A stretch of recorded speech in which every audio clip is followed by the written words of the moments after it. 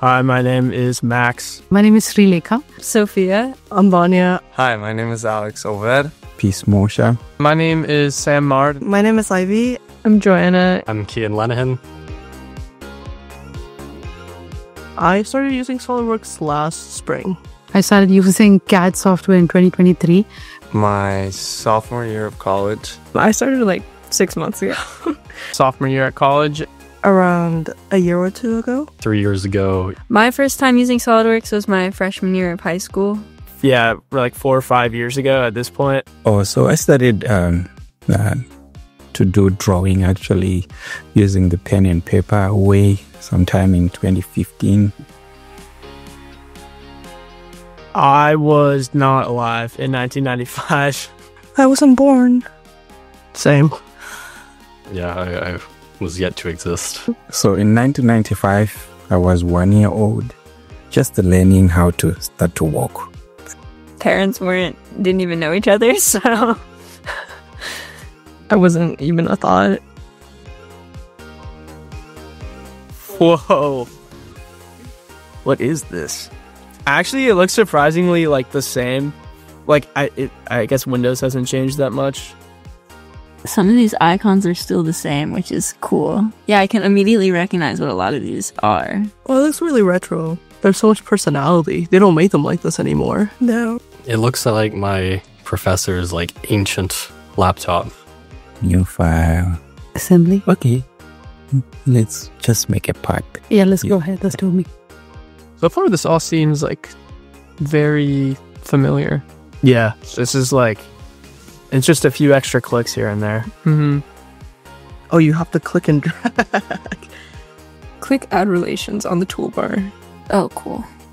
This is some. I guess we take automatic stuff for granted. It's all kind of the same. Yeah, it's not that bad.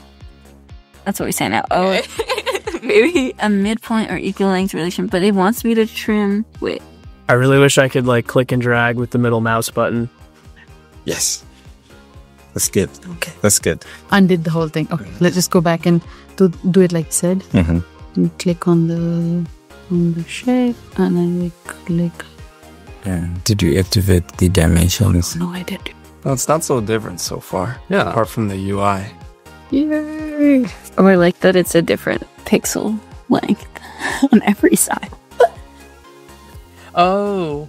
So you can do Alt and arrow keys will rotate the model parallel to the viewing plane. Control and arrow keys pans the model. Shift arrow keys rotate small 90 degrees. Does that work now also? I have no idea. I just I just use the middle mouse button. The 3D-ness is so interesting. The rendering is so interesting. It looks so real. We're actually geniuses. Goaded.